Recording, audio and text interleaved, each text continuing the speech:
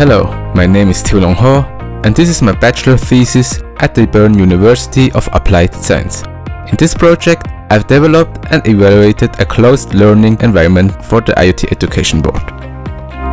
The challenge was to create a secure and efficient environment where tutorials can be created, managed, and automatically checked and deployed. I set up a web server and an MQTT broker on a Raspberry Pi. Tutorials are created in GitLab and automatically checked and deployed through a CI-CD pipeline.